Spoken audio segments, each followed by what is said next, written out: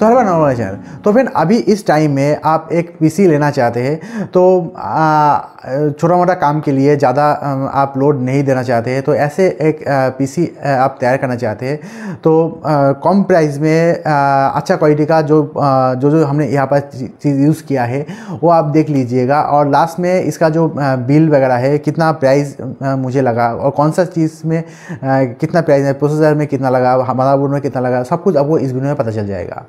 तो चलिए शुरू करते हैं।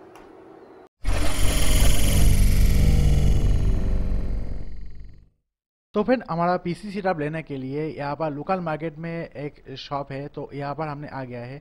तो यहाँ पर आ, सब कुछ आ, मिल जाता है।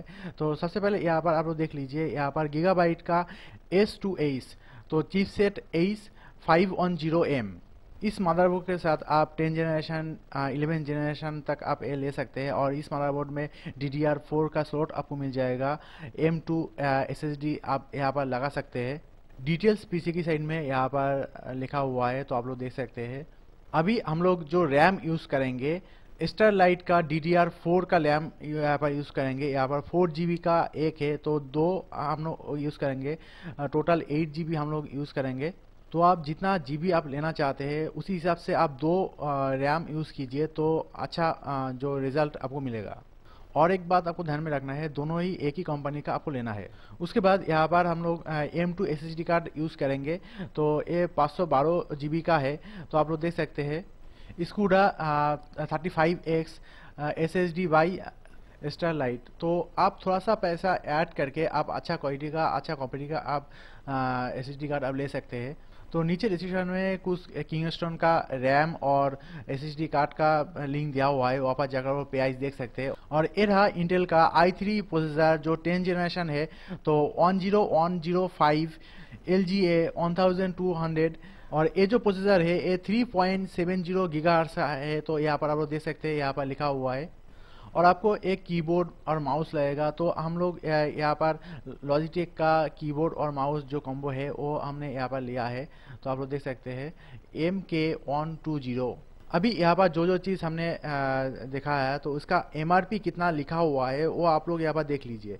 सबसे पहले ये जो कॉम्बो लॉजिटेक का है तो यहाँ पर जो एमआरपी लिखा हुआ है one thousand two hundred ninety five rupees यहाँ पर लिखा हुआ है। और Intel I three ten generation का प्रोसेसर का जो प्राइस है, यहाँ पर एटीन थाउज़ेंड यहाँ पर लिखा हुआ है। तो इससे बहुत कम प्राइस में आपको मिल जाएगा। बिल लास्ट में हम लोग दिखाएँगे। और यहाँ पर जो एम टू एस कार्ड है तो इसका जो प्राइस है nine thousand M R P यहाँ पर लिखा हुआ है। तो फिर a M two S S D card और जो रैम हमने यूज़ किया है ये मुझे सही नहीं लगा। तो किंग स्टोन का लीजिए और किंग स्टोन का जो आ, सही मॉडल है वो भी नीचे डिस्क्रिप्शन में दिया हुआ है। तो देखिए यहाँ पर स्टार लाइट का जो रैम है तो यहाँ पर प्राइस लिखा हुआ है। Four thousand M R P यहाँ पर लिखा हुआ है।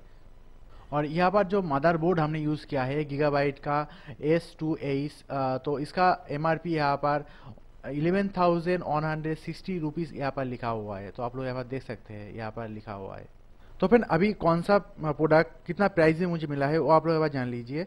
तो यहाँ पर दो रेट यहाँ पर लिखने को मिलेगा एक है जीएसटी बिना और एक जीएसटी लेकर।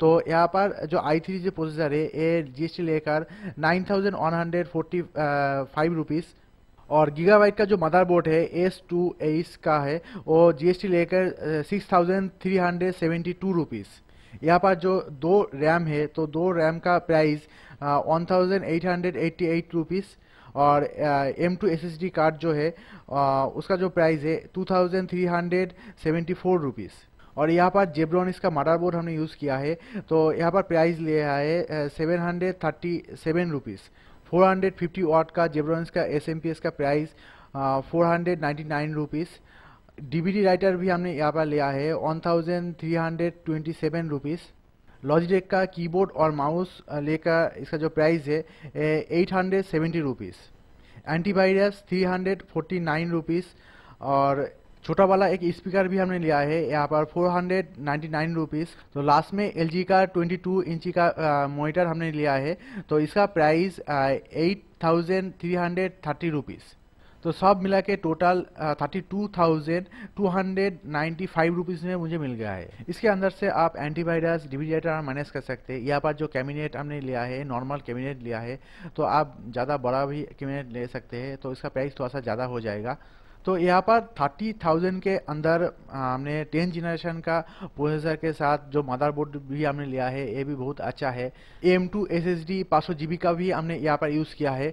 तो आपको आ, गेमिंग वगैरह करना है नॉर्मल एडिटिंग वगैरह करना है तो सब इस आ, जो प्रोसेसर और मदरबोर्ड हमने लिया है तो इसके साथ आप कर सकते हैं कोई भी दिक्कत नहीं आएगा। ज़्यादा हेवी गेम अगर खेलना चाहते हैं तो थोड़ा सा दिक्कत हो सकता है तो आप एक गैपिस कार्ड आप लगा दीजिए तो और कोई दिक्कत नहीं आएगा। जाएगा तो मेरे हिसाब से कौन सा चीज़ कौन सा कंपनी का आप लोग लेना चाहिए तो आप लोग सुन लीजिए। तो गीगाबाइट का, नहीं तो आसूस का मदरबोर्ड आप लीजिए तो कोई भी दिक्कत नहीं है। इंटेल का टेन जनरेशन का प्रोसेसर आप लीजिए तो फाइव आई फाइव आप लेना चाहते हैं तो ले सकते हैं, मगर टेन जनरेशन नाइन जनरेशन ऐसे आप लीजिए। तो आई फाइव उसका जो प्राइस है थोड़ा सा ज़्यादा है तो आई थ्री टेन जनरेशन बहुत अच्छा प्राइस भी मिल रहा है। तो इसलिए हमने लिया है। और यहाँ पर जो रैम जो M two S S D D है। ये किंगस्टोन का जो मॉडल है वो नीचे डिस्क्रिप्शन में दिया हुआ है आप आ जाकर वो देख सकते हैं। वही आप लीजिए। और मॉनिटर 22 इंची का आप एलजी का ले, भी ले सकते हैं और सैमसंग के भी आप ले सकते हैं। और एकदम कम प्राइस में आप पीसी सेटअप करना चाहते हैं तो थर्ड जनरेशन के नीचे आप मत लीजिए। और आप जो मदरबोर्ड लेना चाहते हैं तो वो फॉन्टेक का ए सिक्सटी वन लीजिए तो उसमें एम टू का स्लॉट भी आपको मिल जाएगा मगर जेब्रॉनिक्स का आ, के साथ वो स्लॉट आपको नहीं मिलेगा। तो फ्रेंड ये जो मदरबोर्ड का जो वायर वगैरह है, ये कैसे कनेक्शन करना है वो दूसरा वीडियो में हम लोग डिटेल्स में बात करेंगे। तो आपके हिसाब से कौन सा कंपनी का रैम कौन सा कंपनी का एसएसडी कौन सा कंपनी का मदरबोर्ड मोनीटर अच्छा है, और नीचे कमेंट में बता सकते हैं। तो मेरे साथ में सारा फ़ैन को भी हेल्प हो जाएगा। तो फ्रेंड आपको इस कंप्यूटर से क्या काम करना है? आपको गेमिंग करना है? आपको कितना हेवी गेमिंग करना है, क्या क्या नहीं? आपको कितना एडिटिंग करना है? उसी हिसाब से आप ये पीसी आप सेटअप आप ले सकते हैं। मेरे हिसाब से ये जो जो हमने यहाँ पर यूज़ किया है, जो मदरबोर्ड जो प्रोसेसर हमने यहाँ पर यूज़ किया है तो नॉर्मल गेमिंग नॉर्मल एडिटिंग वगैरह मैं यहाँ पर कर सकता हूँ, कोई भी दिक्कत नहीं आएगा। और ज़्यादा हैवी करना है तो एक बस एक ग्राफिक्स कार्ड हम लोग यहाँ पर लगा देंगे तो और कोई दिक्कत नहीं आएगा। तो फिर ऐसे करके थर्टी थाउज़ेंड के अंदर आप आ, अच्छा क्वालिटी का एक पीसी आप ले सकते हैं। तो यही छोटा सा जानकारी देने के लिए ए वीडियो में तैयार किया है। तो थैंक्स ये वीडियो देखने के लिए और वीडियो अच्छी कर दीजिएगा। ऐसे और वीडियो सब्सक्राइब कीजिए मेरे चैनल को में दबा दीजिए।